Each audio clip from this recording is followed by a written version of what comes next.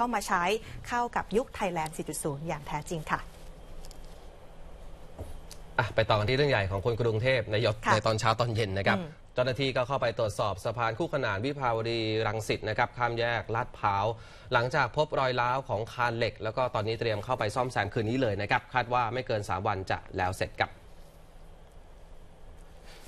นี่คือภาพรอยร้าวของคานเหล็กนะครับบนสะพานข้ามแยกลาดพร้าว ถนนวิภาวดีรังสิตขาเข้า ช่องคู่ขนาน มุ่งหน้าไปสะพานควาย และไปทางสุทธิสาร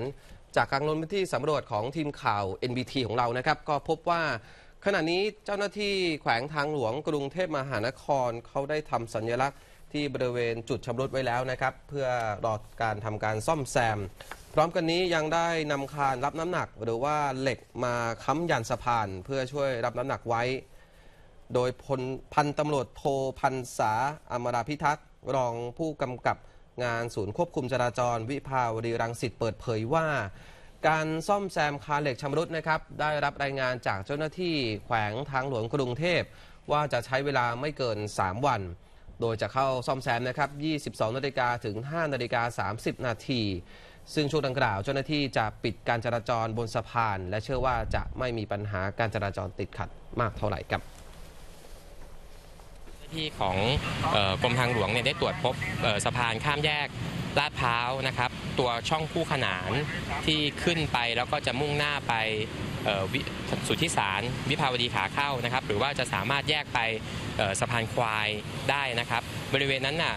มันจะมีคานเหล็กอยู่มีอยู่ ที่ทราบจากวิศวกรเนี่ยประมาณ 5 จุดนะครับ ตัวซ้ายสุดเนี่ยมันมีรอยไม่สมบูรณ์อยู่นะครับกรมทางหลวงก็เลยเทางเจ้าหน้าที่เนี่ยก็เลยแจ้งว่าจะทำการปิดเพื่อ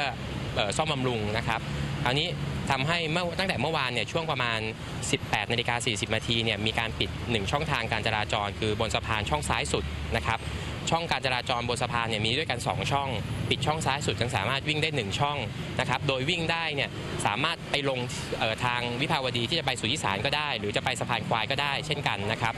เอ่อเมื่อวานเนี่ยเนื่องจากเป็นวันหยุดราชการสภาพการจราจรก็ไม่มีปัญหานะครับแล้วก็ปิดการจราจรเรื่อยมาจนถึงเวลาประมาณตีห้าครึ่ง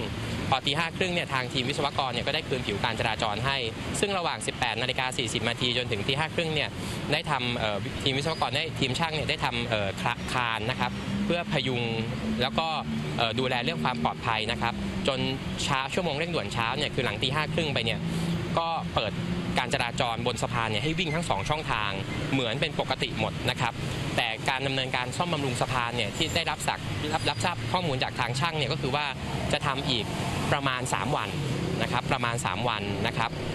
ในรายละเอียดในเชิงวิศวกรรมเนี่ยผมไม่ทราบนะครับแต่ว่าในเกี่ยวข้องกับการจราจรเนี่ยอีกประมาณ 3 วัน โดยจะปิดการจราจรเนี่ยนะครับหลัง3ามทุ่มไปแล้ว ถ้า3ามทุ่มเนี่ยสภาพการจราจรคลี่คลายแล้วจะปิด โดยจะปิดเนี่ยก็ปิดแค่หนึ่งช่องทางเหมือนเมื่อวานนะครับแล้วก็ยังสามารถวิ่งขึ้นได้หนึ่งช่องทาง แต่ถ้า3ามทุ่มเนี่ยยังไม่คลี่คลายจะปิดตอน4ี่ทุ่มนะครับสี่ทุ่มจนถึงไม่เกินตีห้าครึ่งเหมือนเหมือนเหมือนเดิมนะครับ พอสี่ทุ่มไม่ถึงตีห้าครึ่งพอปิดปุ๊บเนี่ยก็ตีห้าครึ่งก็เปิดการจราจร สรุปชัดเจนแล้วนะครับว่าปิดปิด 3 วัน แต่ว่าปิดเนี่ยจะปิดประมาณสัก 21นาฬิกาถึง 22นาฬิกาแล้วก็จะไปเปิดอีกทีเนี่ยประมาณ 5นาฬิกา30นาทีเพราะว่าตอนแรกเนี่ยก็จะเหมือนจะดูงงๆกันหน่อย คาดว่าค่ะนึกว่าจะปิดทั้งวันนะครับอะก็ถือว่าผ่อนคลายไปบ้างสำหรับผู้ที่เดินทางเข้าออกกรุงเทพมหานครนะครับใช่แล้วค่ะแล้วก็ปิดแค่เพียงช่องทางเดียวด้วยนะครัคะบมาต่อกันที่การจับ จับกลุ่มแก๊งค้ายาข้ามประเทศกันบ้างค่ะ โดยตำรวจนะคะได้จับกลุ่มขบวนการขนไอซ์ข้ามชาติทางทะเล 2 คน พร้อมไอซ์กว่า 50 กิโลกรัม เตรียมขยายผลผู้ร่วมขบวนการที่เหลือนะคะ หลังจากพบว่านำเข้ายาผ่านทางน่านน้ำทะเลสากลเข้าสู่ประเทศไทยค่ะ รถยนต์และรถจักรยานยนต์ 5 คัน รวมถึงอาวุธปืนมูลค่ารวมกว่า 30 ล้านบาท เป็นของกลางที่ตำรวจตรวจยึดได้จากขบวนการลักลอบขนไอซ์ข้ามชาติทางทะเล บริเวณชายหาดแม่ลำพึงหมู่ที่ 1 ตำบลเพอำเภอเมืองจังหวัดระยองเมื่อวันที่ 22 มิถุนายน 2558 นะคะ แล้วก็ยึดไอซ์ได้อีกกว่า 50 กิโลกรัมด้วย พลตำรวจโทวีรพงษ์ชื่นพักดี ผู้อำนวยการศูนย์ปราบปรามคนร้ายข้ามชาติและเข้าเมืองโดยผิดกฎหมายเปิดเผยว่า เจ้าหน้าที่ค่ะสืบทราบว่านายลุกโจชัวคุก และนางสาวกัญญารัตน์